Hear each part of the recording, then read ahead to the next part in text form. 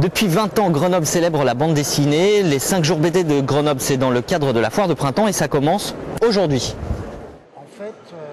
Michel Jans baigne dans la bande dessinée depuis plus de 30 ans. Véritable cheville ouvrière de Mosquito, une petite maison d'édition basée à Saint-Égrève, il organise ce salon consacré au 9e art, toujours avec la même minutie. Bah, ça va, on, est, on est quand même rodé. C'est la 20e année, c'est le 20e anniversaire de cette manifestation.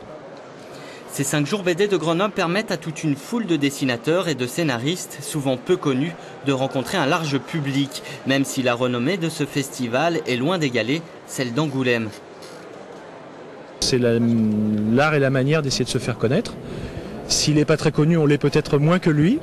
Donc on a tout intérêt à montrer nos créations, notre savoir-faire, en tout cas celui des auteurs que nous on publie, puisque euh, moi je suis à la fois auteur mais éditeur de ces œuvres-là. La célébrité, lui, il connaît, c'est le scénariste de Boule Bill et c'est aussi l'invité d'honneur du salon.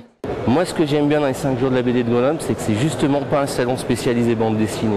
C'est-à-dire que samedi ou dimanche, il y a des gens qui vont passer ici pour voir des stands, je sais pas de quoi, de piscine ou de, enfin, ce que, la foire de printemps, et qui vont tomber par hasard sur des auteurs de bande dessinée. Donc, ça change un peu des publics de collectionneurs ou de spécialistes. Table ronde, exposition, séance de dédicace, les 5 jours BD de Grenoble, c'est jusqu'à lundi à Alpexpo.